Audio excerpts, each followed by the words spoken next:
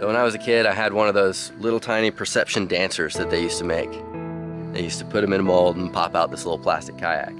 And I had so many hours where I was sitting there looking at it and looking at the lines and trying to think about how it would work well and what it needed done.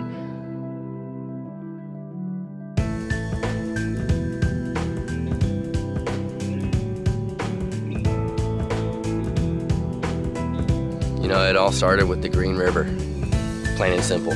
Uh, it's real close to Asheville. There's a lot of other rivers around here, but the Green River runs almost 300 days a year, if not more. Um, so we have this perfect training ground where we've got class four, class five. We've got a good segment that eventually made the perfect race course.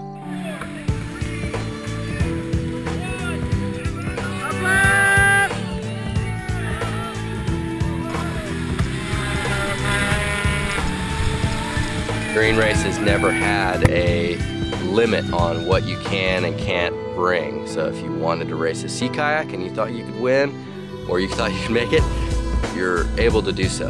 Um, so that meant that the Green Race, the winners, were all paddling boats that were designed in the early to mid 1990s. This, there was always a scramble to find the right boat, boat the Prijon Tornadoes, the Dagger Vortex, uh, stuff like that in the 10, 11 foot range was fast, but there was nothing new that really could even compare or could measure up to those boats in any way.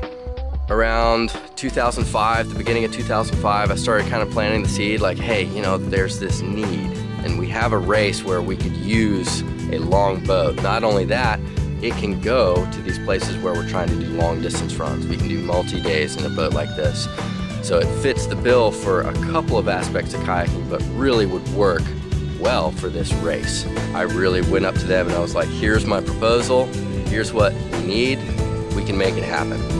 Um, in early 2006, the Dagger guys said, come on down, let's check it out. They even gave me an internship credit uh, when I was in school at UNC Asheville. Um, I worked on it as a class with Snowy, Mar uh, uh, Mark Robertson, the head designer down there. And Snowy and I spent the next few months in preparation for the green race, just down there shaping, shaping, shaping, shaping.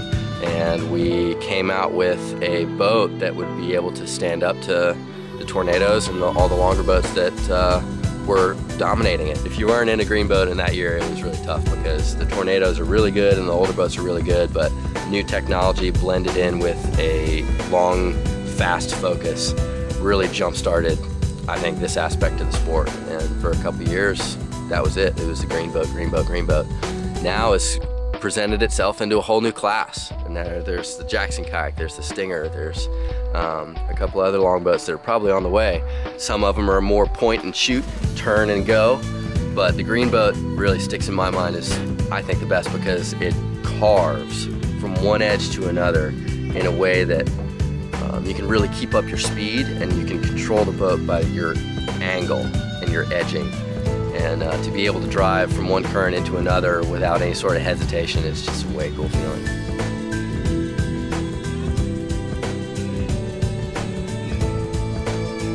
What's really cool is that it's kind of reinvented the downstream motion of kayaking. We can really um, get back into the origins of the sport where we're just putting on and we're going nice and quick down to a certain point.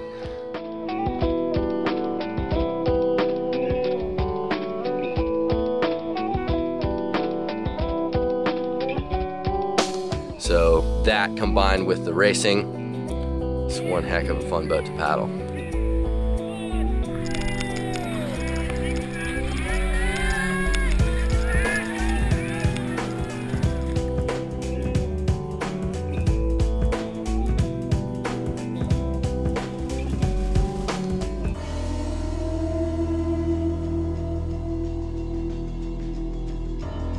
I love just going fast and um, shredding from one move to another.